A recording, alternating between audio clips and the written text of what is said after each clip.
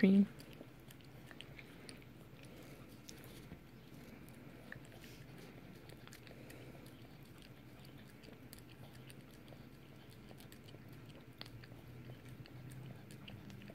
Is there good stuff put in?